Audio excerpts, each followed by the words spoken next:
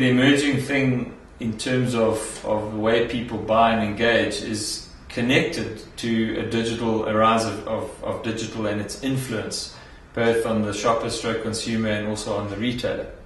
And some examples of this are perhaps the growing influence of social media, whereby shoppers and consumers perhaps had a, a, less powerful voice in the past than they do today, and very, very, very quickly uh, a, message can go viral on social media, and that can be a positive or a negative. It can draw shoppers and, and potential consumers to a particular vendor, or it can drive them away equal, equally quickly. So there, there's a there's a stronger voice certainly from a social media point of view, and linking to that is the the rise of, of businesses that have to respond to that. So people are looking for an online offering.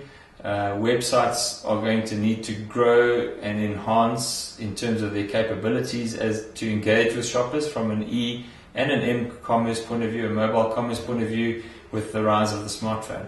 So people want to also be able to have a conversation with a brand across channels, and so an omni-channel conversation is really important.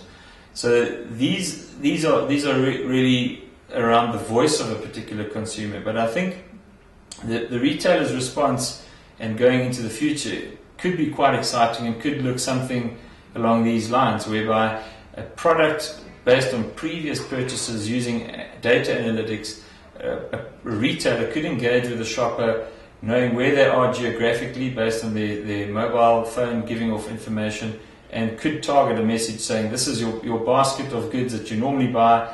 We actually now have a special uh, on 80% of those items. Come into this store and get it. And by the way we've got a, a complimentary product that we're going to give to you for free. We know you. We love you. Please come and buy from us right now. So with broadband costs hopefully declining and with more and more people using uh, cell phones, the technology available to engage around your next purchase or your grocery um, basket could be a lot closer to home than you think with the emergence of, of goods which communicate uh, backwards, giving intelligence to a supplier about the, the lack of stock. So a fridge indicating that uh, you've run out of beer or cheese and uh, referencing a particular retailer who then sends you a prompt to say, hey, your goods are, are running out, you need to come and get new, new product, and then replenishing that. So that's driving a transaction from an analytics point of view.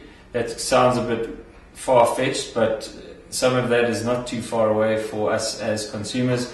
It just depends on the realm and, and the appetite and I suppose strategic intent of a particular retailer or service provider as to whether they want to grow and build that kind of relationship with their shoppers or their, their consumers of their product. But it does certainly create a barrier to entry um, uh, for for companies who are seeking to go forward in that realm. But that that is not something that's too too distant for us in the future.